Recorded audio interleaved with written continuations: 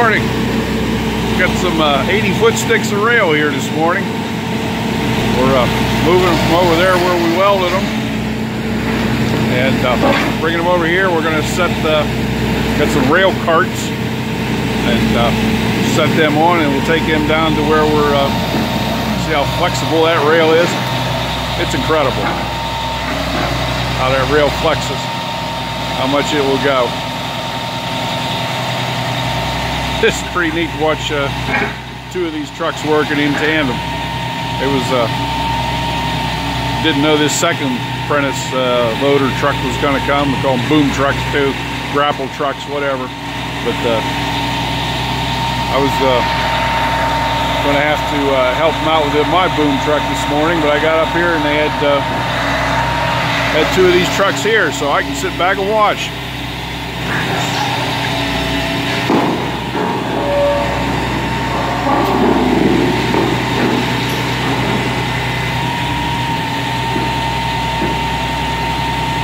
Rainy morning here at Cumberland Mine Railroad.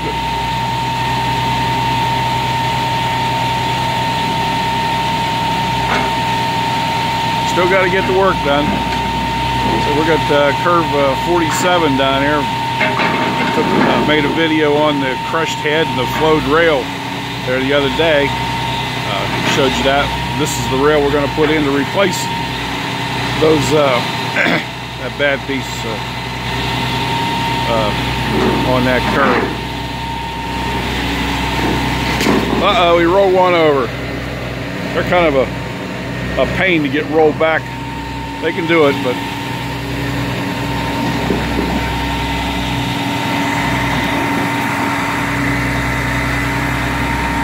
that uh, guy up there running that uh, truck, boom truck, his name's Lucky.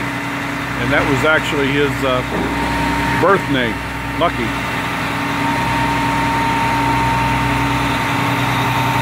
Guy running this boom truck over here is Richard. He's uh, he's out here. He's 67 years old.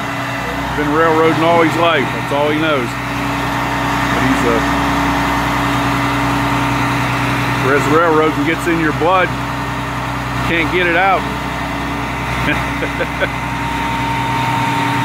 They got one more weld to make down here. Uh, said it's raining here. They don't weld in the rain, but uh, they went to uh, get a tent. So we'll set up a tent on here and make that other thermite weld this morning and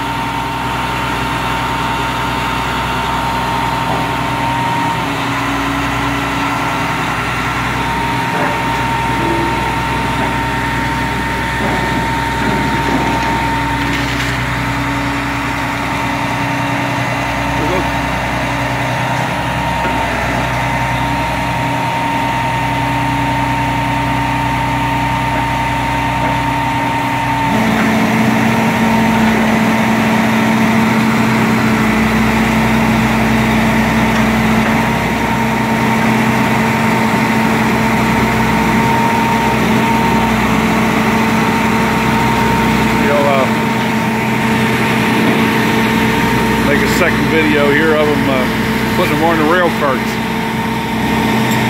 That's pretty neat to watch too.